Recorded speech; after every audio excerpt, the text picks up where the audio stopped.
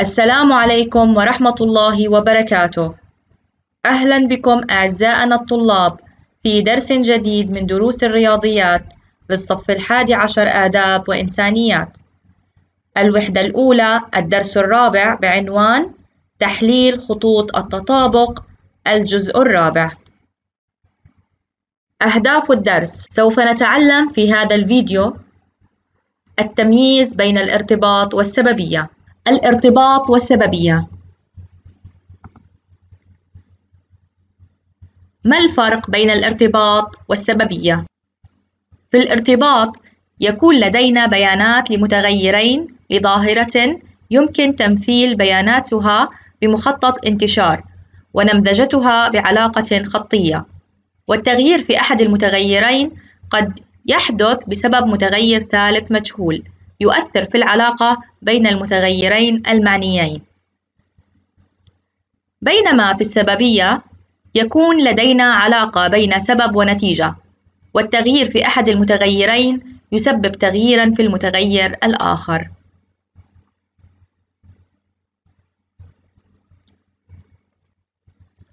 بين ما إذا كانت العبارات الآتية تظهر ارتباطا أو سببية ثم فسر إجابتك. أظهرت الدراسات أن الطلاب يكونون أقل نشاطًا بعد تناول الغداء. هل تناول الغداء هو سبب مباشر وكافي لقلة نشاط الطلاب؟ بالتأكيد لا. تظهر العبارة ارتباطًا فقط ولا تظهر سببية، لأن تناول الغداء ليس سببًا مباشرًا ولا كافيًا وحده لقلة النشاط وهناك عوامل أخرى تشترك معه مثل نوعية وكمية الغداء. في العبارة الثانية إذا رفعت أثقالا أستطيع الالتحاق بفريق كرة القدم. هل رفع الأثقال سبب مباشر وكافي للالتحاق بفريق كرة القدم؟ بالتأكيد لا، هناك عوامل أخرى، وبالتالي تظهر العبارة ارتباطًا فقط ولا تظهر سببية لأن رفع الأثقال وحده ليس سببًا مباشرًا للالتحاق بفريق كرة القدم فقد تكون هناك عوامل أخرى تشترك معه مثل المهارة واللياقة وغيرها.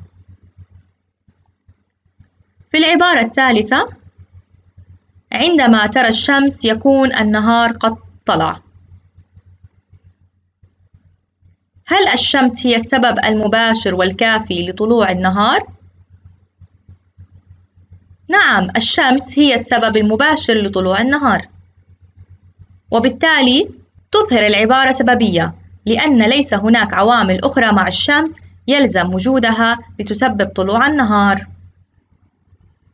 مثال 5 صفحة 34 الارتباط والسببية الفرع A وجد جاسم ارتباطًا موجبًا بين عدد الساعات التي يقضيها زملاءه في النوم قبل الاختبار ودرجاتهم فيه. هل يمكنه بناء على ذلك استنتاج أن نتيجته في الاختبار ستكون جيدة إذا نام باكرًا؟ لاحظ مخطط الانتشار الذي يوضح الارتباط الموجب بين ساعات النوم ونتيجة الاختبار. كيف يمكنك أن تعرف ما إذا كان تغير في كمية ما يسبب تغيرًا في كمية أخرى؟ عند وجود ارتباط قوي بين مجموعتي بيانات وإذا كانت إحدى الكميات تغيرت نتيجة لتغيير في كمية أخرى فقد تكون السببية احتمالًا ممكنًا. هل الارتباط بالضرورة علاقة سببية؟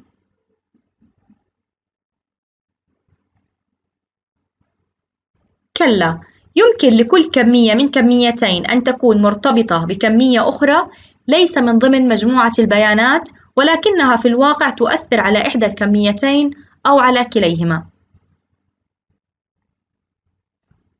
كيف يمكن تحديد ما إذا كانت هناك علاقة سببية بين متغيرين؟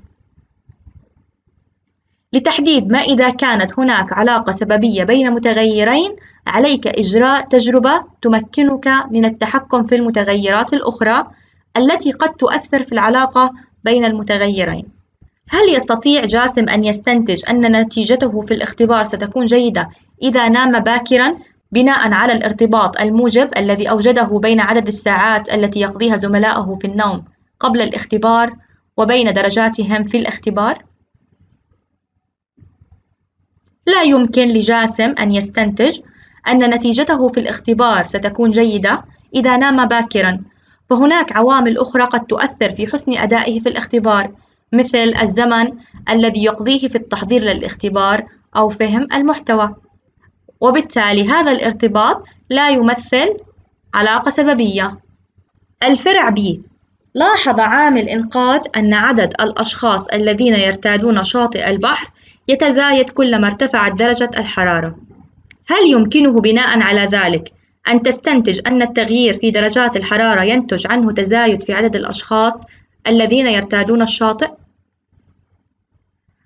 من خلال مخطط الانتشار نلاحظ وجود ترابط موجب بين درجات الحرارة وعدد رواد الشاطئ ولكن هل يمكن أن نستنتج أن التغيير في درجات الحرارة هو السبب الوحيد لزيادة عدد رواد الشاطئ؟ بالتأكيد لا هناك عوامل أخرى.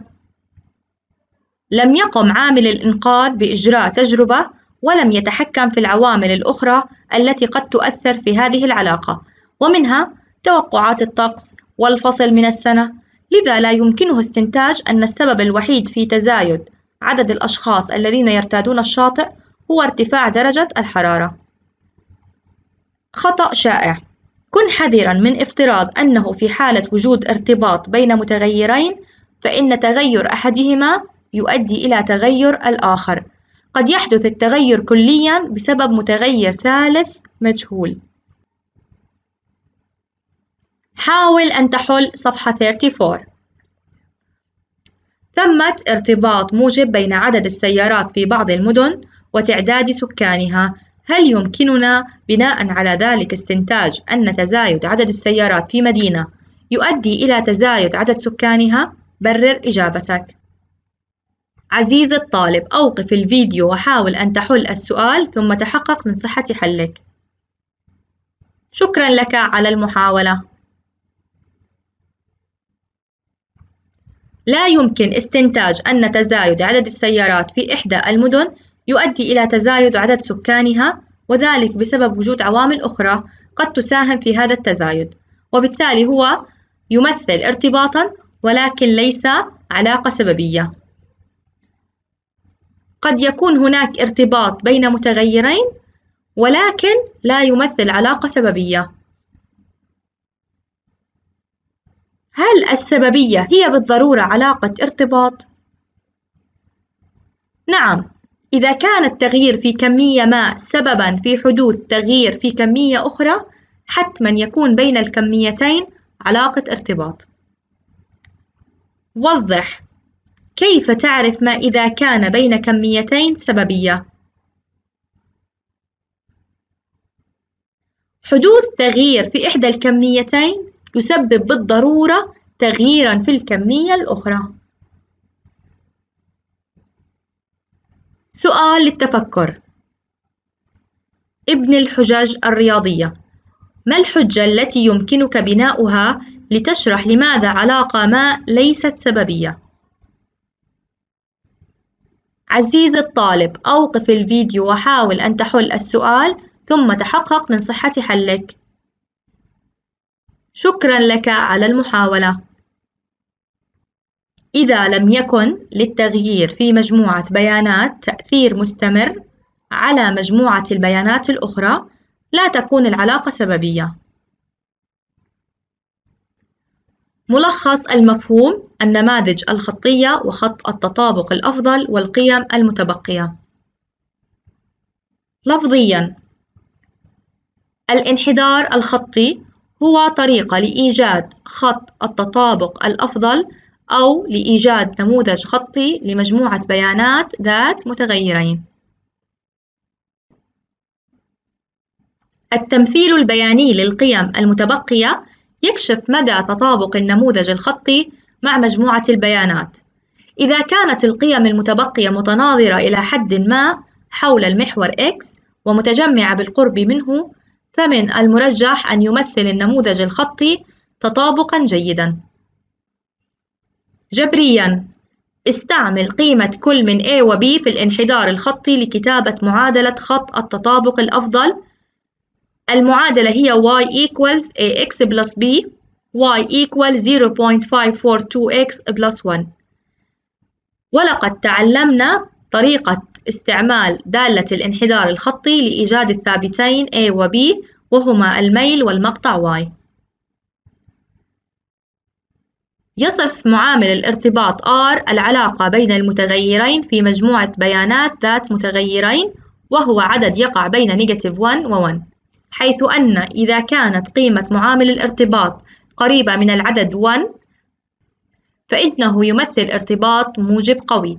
وإن كان معامل الارتباط قريبا من العدد نيجاتيف 1 فإنه يمثل ارتباط سالب قوي. وإن كان قريبا من الصفر فيمثل ارتباط ضعيف بيانيا معادلة خط التطابق الأفضل هي y equal 0.542x plus 1 وهي النموذج الخطي الذي ينمذج الارتباط بين المتغيرين x و y. هذا التمثيل البياني يمثل القيم المتبقية للبيانات الواردة إلى اليسار حيث أن القيمة المتبقية هي الفرق بين قيمة y الفعلية وقيمة y المتوقعة عبر عن فهمك صفحة 35 السؤال الأساس. كيف يمكنك تقييم دقة تطابق خط التطابق الأفضل لمجموعة بيانات مزدوجة؟ عزيزي الطالب أوقف الفيديو وحاول أن تحل السؤال ثم تحقق من صحة حلك شكرا لك على المحاولة قد طرحنا السؤال الأساس في بداية الدرس هل استطعت عزيزي الطالب الإجابة عنه؟ كيف يمكنك تقييم دقة تطابق خط التطابق الأفضل لمجموعة بيانات مزدوجة؟ لاحظ معامل الارتباط لتحدد دقة التطابق لخط التطابق الأفضل للبيانات. إذا من خلال معامل الارتباط بإمكاننا تقييم دقة تطابق خط التطابق الأفضل لمجموعة البيانات المزدوجة. عبر عن فهمك صفحة 35 تدريب 4 ابحث عن العلاقات وجد سالم أن هناك ارتباطا قويا بين أعمار المشاركين في سباقات الماراثون والأزمنة التي يسجلونها هل يستطيع سالم القول أن الأشخاص الأصغر سنًا أسرع من الأشخاص الأكبر سنًا في سباقات الماراثون؟ وضح إجابتك. عزيزي الطالب، أوقف الفيديو وحاول أن تحل السؤال ثم تحقق من صحة حلك. شكرا لك على المحاولة. أحسنتم، قد يكون هناك استثناءات نادرة، أي أن يمكن أن يكون هناك من الأشخاص الأكبر سنًا أسرع من الأشخاص الأصغر سنًا. تدرب على اختبار من المرجح أن يكون أداء الطلاب الذين يتناولون وجبة الإفطار جيدًا في المدرسة، أي مما يلي يمكن استنتاجه من هذه العلاقة. A هناك علاقة سببية بين الحدثين. B كلما كان تناول الطلاب لوجبة الإفطار أمرًا متكرر الحدوث تحسن أداءه. C. لا يمكن تحديد ما إذا كان الارتباط سببًا من دون توافر مزيد من الأدلة. D. تقديم وجبة إفطار مجانية إلى جميع الطلاب يقلل من الفوارق في أداء الطلاب. عزيزي الطالب، أوقف الفيديو وحاول أن تحل السؤال ثم تحقق من صحة حلك. شكرا لك على المحاولة. هل تناول وجبة الإفطار الجيد في المدرسة السبب الوحيد الذي يؤثر على أداء الطلاب؟ بالتأكيد لا، هناك عوامل أخرى، وبالتالي فإن الإجابة هي أحسنتم. لا يمكن تحديد ما إذا كان الارتباط سببًا من دون توافر مزيد من الأدلة. إلى هنا ينتهي هذا العرض شكرا لكم أعزائنا الطلاب على الانتباه وحسن الاستماع وإلى اللقاء في درس جديد من دروس الرياضيات.